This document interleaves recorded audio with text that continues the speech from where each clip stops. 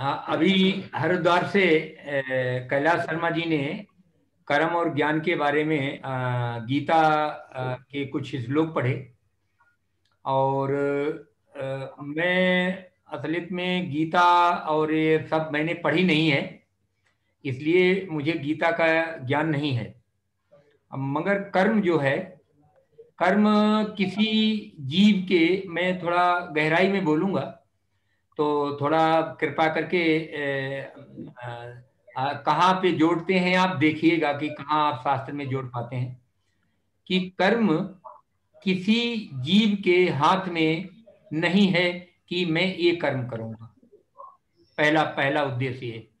दूसरा उद्देश्य ये, जीव का, जीव की बात कर रहा हूँ, जो जीव, जिसे जीव आत्मा आप कहते हो जीव आत्मा सिर्फ़ इस ब्रह्मांड के अंदर जो जीव आत्माएँ हैं, वो सिर्फ़ ये साकार से निराकार और निराकार से साकार में दो काम अपने हाथ में नहीं करती हैं। ये निराकार के दबाव में और साकार के दबाव से निराकार में, निराकार के दबाव से साकार में।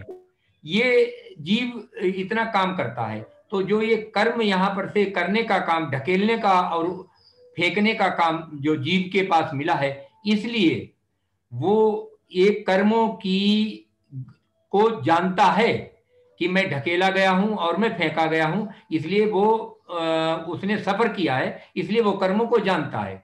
इसलिए वो कर्म करता है। तो उस कर्म की जो प्रत्यक्ष जीव के प्रत्यक्ष जो स्थिति कर्म की होती है, वो अगर उसमें कोई जीव उसके अनुरूप अगर वो पूरा नहीं अपेक्षा जो सामने से नेचर चाह रही है, जो प्राकृतिक चाह रही है, या जो आप, आपके सामने स्थिति बन के आई है, उसके अनुरूप आप नहीं आए, पूरे के पूरे नहीं उतरे। अपनी किन चीज़ों से? बुद्धि और शक्ति और शब्द और प्रकाश जो आपके अंदर है, जो आपके अंदर जितनी सारी ताकतें हैं, जितनी आपके अंदर यूनिटें हैं, जितनी आपके अंदर पावर है, हर हर यूनिट की। अगर आपने उसे सही इस्तेमाल नहीं किया उनको पूरा उपयोग में नहीं लाए तो प्राकृतिक ऐसे जीव के सामने पुनः वो कर्म नहीं लाती। फिर उसके लिए दूसरा स्पेस लाती कि देखो ये करेगा क्या? फिर वो जीव उस चीज़ में खरा नहीं उतरा तो तीसरी लाती है। तो स्थिति बदलती है। अगर कोई जीव अच्छे कर्म नहीं कर, करने में समर्थ है नहीं करता है वो आलस दिखाता है कोई कारण दिखाता है तो फिर वो उसके लिए दूसरे कर्म देती है। तो कर्मों कर्म जो तय करता है ना वो प्राकृतिक ब्रह्मांड में जो परमात्मा की शक्ति है और जो साकार निराकार है और जो आकार है जो पर, परमात्मा की आकार है और परमात्मा के जो उसके चार गुण हैं। एक उसके अंदर शब्द है उसके अंदर गति है उसके अंदर शक्ति है उसके अंदर प्रकाश है। ये जो चीज़ें हैं कर्मों को तय करती हैं ब्रह्मांड के अंदर। तो ये ये स्थिति जो कर्म की बारे बारे में कही अब छोटा सा एक ज्ञान के बारे में बात करेंगे कि ये जो हमारे शर्मा जी अपने हरिद्वार से जुड़े हुए हैं, शर्मा जी ने एक बहुत अच्छा श्लोक मेरे जीवन में, मुझे कानों में मेरे डाला कि, हे अर्जुन, बहुत ज्ञान की आवश्यकता नहीं है, थोड़ा ज्ञान ही काफ़ी है। ये तो ये ये गीता का है। मगर वहाँ शिव सूत्र में ये कहा जा रहा है कि ज्ञान बंधन है। तो यहाँ पर हमें जीव हैं और हम कर्म कर रहे हैं। तो कर्म और ज्ञान, इन यहाँ पर सावधानी क्या अपनानी चाहिए, ये अब आप अपने आप तय करें। मैंने आपको संक्षेप में ये बात बता दी है। जिसपे इससे अच्छा जो है सत्येंद्र जी आपको बताएँगे, फिर उसके बाद आप लोगों के पास दोबारा पुनः आते हैं। ठीक है। शर्मा जी ने ये कहा कि भगवान ने गीता में कहा है कि ज्ञान जो है, एक चीज़ गीता में कहा भगवान ने कि अर्जुन जो ज्ञान है वो सभी कर्मों को भस्म कर देती है। सभी कर्मों को जला देती है ज्ञान यानी मुक्त कर देती है। ये गीता में कहा गया है। ज्ञान अग्नि ज्ञान अग्नि दूसरी तरफ़ यदि हम शिव सूत्र पढ़ते हैं तो शिव का दूसरा सूत्र है ज्ञानम बंध। मीन्स ज्ञान बंध है ज्ञान से बंधन होता है। अब एक साधारण आदमी के लिए तो बिल्कुल दो कंफ्यूजन स्थिति है कंफ्यूजन वाली स्थिति है। कि एक तरफ़ ये कहा जा रहा है गीता में कि ज्ञान मुक्ति देती है, ज्ञान कर्मों को जला डालती है। और दूसरी तरफ़ जो कि शिव सूत्र है, और शिव सूत्र में ये कहा जा रहा है कि ज्ञानम बंध, कि ज्ञान बंधन का कारण है। इसका मतलब ये है कि दोनों जगह, अब मैं ये नहीं कहूँगा कि गीता गलत है या शिव सूत्र गलत है, दोनों ही ठीक है। दोनों बिल्कुल ठीक है। मगर कॉन्टेक्स्ट अलग है। गीता में कॉन्टेक्स्ट अलग है। गीता में भगवान ये कह रहे हैं कि किसका ज्ञान? जो जीव के आगे है, उसका ज्ञान नहीं। जीव के आगे प्रकृति है, वस्तुएँ हैं, परिस्थितियाँ हैं। उनका ज्ञान नहीं ऑब्जेक्टिव नॉलेज नहीं। पीछे जो परमात्मा है, जो कारण कारण रूप में मौजूद है परमात्मा। जिससे सब कुछ हो रहा है, यदि उसका ज्ञान हो जाए तो कर्म सब खत्म हो जाते हैं।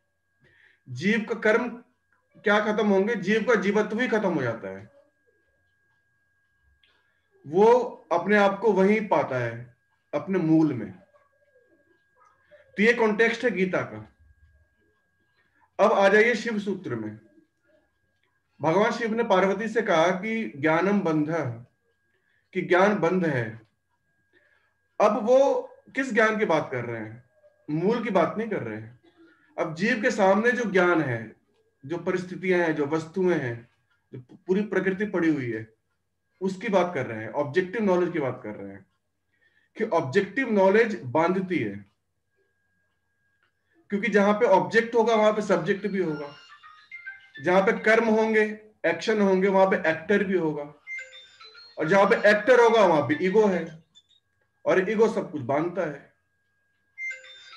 तो जो ईगो है, अभी कला जी कह रहे थे ईगो की बात, जो ईगो है, वो एक तरीके का कंटेनर है। It contains all the karmas जितने भी कर्म करता है जीव, ये जो ईगो है इसका इग्नोरेंस के कारण, इसी के अंदर सारे कर्म इकट्ठे होते हैं। तो वो बंधन का कारण बनेगा। तो ऑब्जेक्टिव नॉलेज जीव को बंधन में डालता है, बांधता है। और जो मूल का ज्ञान है, जिसके भगवान बात कर रहे हैं, वो जीव को बंधन से छुड़ाता है, जीव का जीवत्व खत्म करता है, या जीव के कर्म भस्म करता है। तो मेरा, मैं ये इन दोनों को अलग अलग कॉन्टेक्स्ट में इस तरीके से देखता हूँ। यदि कैलाश शर्मा जी आप कुछ कमेंट करना चाहें इस पे तो आप कमेंट कर सकते हैं। बात यही है कि भगवान ने जिस ज्ञान के लिए कहा है ना शिव सूत्र में वो दूसरा है वो तो गीता जी में भी भगवान ने कहा। ज्ञान इमाम पुष्पिताम वाचम प्रवदंती विपस्थित वेद वाद रथा पार्थ नान्यतस्ती वादिन। कामात्मान स्वर्ग परा जन्म कर्म जन्म कर्म फल प्रदान क्रिया विशेष बहुलाम भोग ऐश्वर्य गतिम प्रति भोग ऐश्वर्य प्रसक्ता नाम तया अपहृत चेतसाम व्यवसातिका बुद्धि। समाधो न विधीयते। त्रैगुण्य विश्य वेदा निस्त्रैगुण्यो भवार्जुनम। वेद के ज्ञान को भी भगवान ने कहा कि जो लोग वेद के बड़े बड़े वाक्यों में रुचि रखते हैं और जो इसमें बड़े बड़े विशेषण लगे हुए हैं और जो बड़े बड़े भोग और ऐश्वर्य की इतना बड़ा स्वर्ग का साम्राज्य मिलेगा और ऐसे ऐसे लोगों में तुम जाओगे जब तो आप यज्ञ करोगे। यज्ञ बहुत इंपॉर्टेंट है। कर्म का मुख्य भाग ही यज्ञ है। यज्ञ रूप में ही सभी कर्म करने चाहिए। तो भगवान ने वेदों का, वेदों के ज्ञान के बारे में इसलिए क्यों? क्योंकि वेद जो है, वेद धर्मो खिलो धर्म मूलम। वेद में सब प्रकार का ज्ञान था। वेद जब उत्पन्न किए गए थे, उसमें ब्रह्मांड इग्नोरेंट था। उस समय ये जीव जगत संसार बिल्कुल इग्नोरेंट था। तो उन्होंने स्वर्ग की भी बात की, क्षेत्र की भी बात की, क्षेत्र की भी बात की, प्रकृति की भी बात की, पुरुष की भी बात की, लोग उलझ गए। और लोग उलझ कर, वो जो त्रिगुण वेश्या, जो स्वर्ग की बात थी जिस तरह से त्रय विद्या माम सोमपा, पूत पापा, यज्ञ रिष्टवा, स्वर्ग स्वर गतिम प्रार्थ्यंते ते पुण्य मासाद्य सुरेंद्र लोकम असनंती दिव्यान दिव्य देव भोगान, देवलोक में जाकर जो तीनों वेदों को पढ़ेगा और जो उनका ज्ञान प्राप्त करेगा, वो स्वर्ग लोक में जाके बड़े बड़े भोगों को हज़ारों वर्ष तक भोगेगा और वो भोग करके तेतांग भुक्तवा, तेतंग भुक्तवा स्वर्ग लोकम विशालम, छिने पुण्य मृत्यु लोकम विसंति जब उनके पुण्य क्षीण हो जाएँगे 500 हज़ार साल के बाद तो वो जो है पुनः मृत्यु लोक में आ जाएँगे। यानी एतम भुक्तवा स्वर्ग लोकम विशालम क्षीण पुण्य मृत्यु लोकम विसंति एवं त्रय धर्म मनु प्रपन्ना गता गतम काम कामा लभंते उनको बाद में जन्म मृत्यु का चक्री मिलता है। जो ये जो इच्छा से कर्म फल का त्याग नहीं है ना वहाँ। वहाँ ये जो ज्ञान दे रहे हैं प्रभु ये कर्म फल का त्याग दे रहे हैं। यस्य ना हं, ना ना हंकृतो भावो बुद्धि न लिप्यते। अगर अहम भाव नहीं है और उसकी बुद्धि सैकाम धर्म में नहीं है, या हत्वापी से ईमान लोकान, न हंती न निबद्ध थे अगर मैं पूरे संसार में एटम बम की भी वर्षा कर दूँ तो भी मुझे दोष नहीं लगेगा। क्यों? क्योंकि मैंने तो मैं तो संबुद्धि में स्थित हूँ। मेरे में अहम भाव नहीं है। मैं कर्म फल का त्यागी हूँ। मेरे में आसक्ति नहीं है। इस तरह का पुरुष अगर पूरे संसार को लोगों को भी मार दे तो भगवान कह रहे हैं, ये उस ज्ञान को जो है, समबुद्धि योग के ज्ञान को कह रहे हैं। भगवान ने बार बार इसमें तत्व की चेष्टा की है। जो मुझे तत्व से जानता है, वही मुझे प्राप्त करता है। जो एक लाइन आई है गीता में, कि बहुनाम जन्मना मनते ज्ञानवान माम प्रपद्य थे वासुदेव सर्वमिति से महात्मा सुदुर्लभ। है तो वो क्यों आई है? वो इसलिए आई है कि लास्ट में तत्व सारे तत्व वासुदेव पे ही चले जाते हैं। जी। जैसे जैसे तत्व को मूल से तत्व क्या है? तत्व को किसी भी वस्तु को मूल से जानना तत्व है। मूल क्या है? मूल मूल जो तत्व है उनसे जो चीज़ बन गई बन गई और उससे हम जो है उसमें घूमने लग गए। और जैसे केमिस्ट्री में भी होता है सोडियम है, मैग्नीशियम है और वो पृथ्वी में उत्पन्न हुई थे चक्र। है चक्र को आप जहाँ भी रोक दोगे, उसके यज्ञ को रोक दोगे चक्र के तो वो चक्र विखंडित हो जाएगा। तो उसी चक्र तरह इसीलिए भगवान ने प्रवर्ती चक्र की भी बात की है। भगवान ने सृष्टि चक्र की किया। तत्व क्या है कि संसार में घुस जाओ और निकल जाओ। जो इस विषय को जानता है वही ब्रह्म ज्ञानी है, वही तत्व ज्ञानी है। वो संसार में आना भी जानता है और जाना भी जानता यहाँ निकलना भी जानता कर्म को काटना कर्म बंधन में पड़ता ही नहीं, मुक्त भी रहता तत्व से जानना। तो भगवान ने तत्व से जानने की बात गीता में जगह जगह की है। तभी भगवान ने कहा है न ही ज्ञान न सदृशम पवित्रम ही मिद्यते तत्स्वयं योग संसिद्ध काले नात्मनि विदलती। इसीलिए जो है, वो तो ये ज्ञान तो ऐसा है कि ज्ञान के समान पवित्र करने वाली वस्तु कोई नहीं है। अरे, आपने संबुद्धि योग किया निराशीर यद चित्तात्मा, त्यक्त सर्व परिग्रह शारीरम केवलम कर्म कुर्बन नापनोति किल कुर्बन आपनोति किल विषम। अरे, शरीर से जो भी कर्म कर रहे हो, ये तो आप तभी बंधन का मोक्ष है जब आप आसक्ति से कर रहे हो। नहीं तो ये शरीर के कर्म आदमी को बांधते नहीं है। ये गलत जानते हो। आपकी जो नॉलेज है अगर वो ठीक नहीं है तब आप बंधन में हो। और अगर आप नॉलेज को जानते हो मुक्त होने की तब आप मुक्त हो। तो तत्व तत्व का से जानना ज्ञान के संदर्भ में यही बात आ जाती है कि लास्ट में तत्व से जानना भगवान को यह तत्व को जानना। भूमि को नलो वायु खम अहंकार में भिन्ना प्रकृति रष्टदा। ये पाँच महाभूत हो गए, इनके विषय हो गए, इंद्रियाँ हो गई, हैं? अपरे इससे परे जो दिव्य प्रकृति है अपरा प्रकृति है अपरे यमित प्रकृति विद्धि में पराम जीव भूताम महाबाहो यदम धार्यते जगत, इन दोनों के संयोग से जीव उत्पन्न होता एतत योनि भूतानी सर्वाणी त्युपधार्य अहम कृतस्न मूल तत्व आ गया, देखिए। प्रकृति मूल तत्व में गई। आपने मूल ज्ञान किया कि आपका शरीर इन चीज़ों का बना हुआ है। तब भी भगवान करें, एतत भूतानी सर्वाणी त्युपधार्य अहम कृत न जगत प्रभव प्रलयस्तथा। और मैं इसको, जीव को उत्पन्न करने वाला हूँ। इन्हीं दोनों प्रकृति से मूल कहाँ चला गया? ये सारे तत्व से आप बन गए, लेकिन मूल ईश्वर पे ही जा रहा है। तभी तो भगवान ने कह दिया कि क्या नाम वासुदेव के अतिरिक्त कुछ भी नहीं है।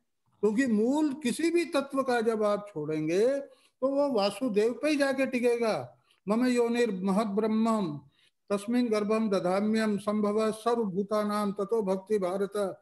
सब योनिषि कौनते मूर्त संभवंती या तासाम ब्रह्म महद योनि अहम बीज पद पिता।